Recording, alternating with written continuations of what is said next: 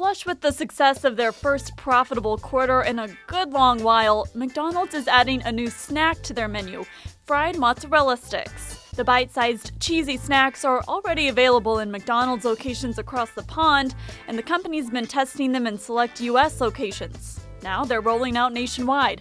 The current planned price is one buck for three sticks. The move is likely part of the company's efforts to rebrand itself as a more upscale, fast casual chain. McDonald's is hoping healthier ingredients and new menu options will entice consumers who've been driven away by the restaurant's reputation for greasy, unhealthy food. But these new initiatives run the risk of overcomplicating the franchise's menu, something that's hurt McDonald's in the past. At the beginning of last year, the company promised investors they'd focus on introducing fewer products with better execution. For Newsy, I'm Katie Link.